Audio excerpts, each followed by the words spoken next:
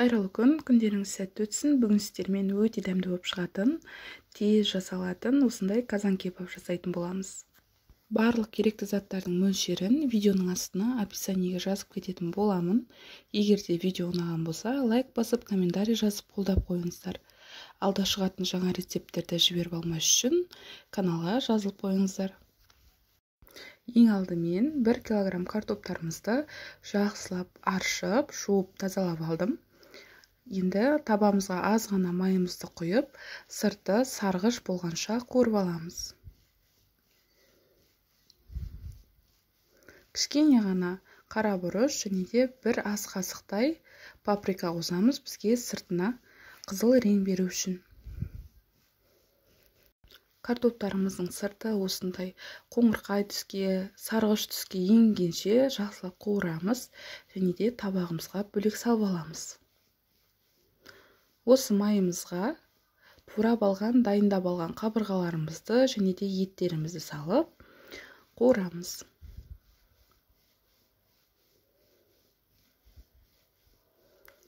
Дәміне қарай тұз және де екі ас қасық соя тұздығын құйдым.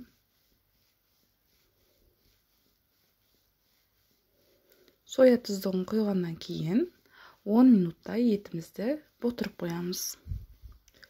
Соя тұздығы өздеріңіздің қалауларыңызға қарай қоспасаңыздар да болады.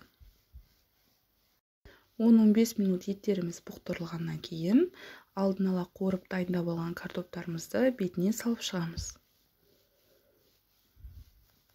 Картоптарымыздың барлығын орналастырып алғаннан кейін 200 мг мөлшерінде суымызды құямыз. Суды егерде өлшеп құйсаңыздар картоптарыңыз езіліп кетпейді және де формасын жақсы сақтайды. Қақпағын жауып 25 минутқа бұқтыруға қалдырамыз. Тез дайын болатын және де өте дәмді тағам жасап көріңіздер.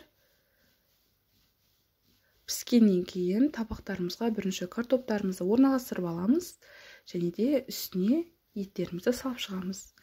Қалауларыңызға қарай пиязбен көк шөптермен укроппен әсемдесеңіздер болады. Өте дәмді болып шығады. Жасап көріңіздер. Видео ұнаған болса каналға жазылып кетіңіздер. Ас болсын.